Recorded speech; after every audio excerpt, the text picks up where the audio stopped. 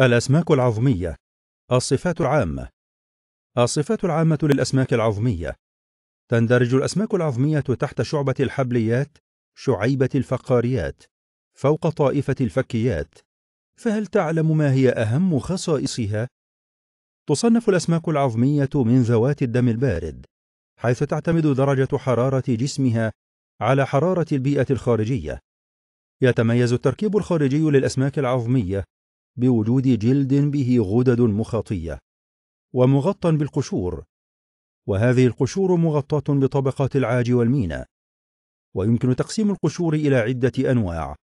على النحو التالي قشور دائرية أو شوكية عظمية كما في سمكة البلطي قشور جانودية كما سمكة البوليبترس وقشور كزمودية كما في السمكة الرئوية البرتوبترس أما بالنسبة للزعانف فهي مدعمة بأشعة زعنفية عظمية.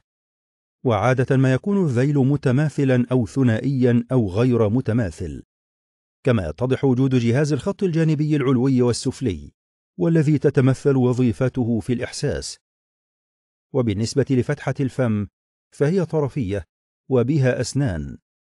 وهذا هو سبب تسميتها بطائفة الفكيات. وتكون الفكوك متطورة ومرتبطة بالجمجمة. العيون متطورة وعادة ما تكون بدون جفون. والآن إلى التركيب الداخلي حيث نجد الهيكل العظمي مكونا بصورة رئيسية من العظام وتكون الفقرات واضحة ومميزة.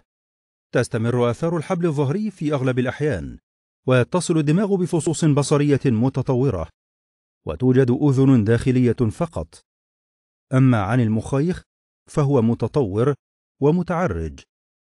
ويخرج من المخ عشرة أزواج من الأعصاب المخية.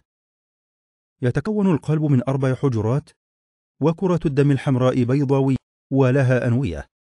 يتم التنفس بواسطة أربعة من الخياشيم. تحمل على أقواس خيشومية عظمية. تفتح في البلعوم وتغطى الخياشيم بغطاء خيشومي عظمي. يوجد عادة مثانة هواء هوائية تسمى بمثانة العوم والتي تتحول في بعض الأنواع إلى رئة بسيطة كما في السمكة الرئوية. يتم الإخراج بواسطة الكلى.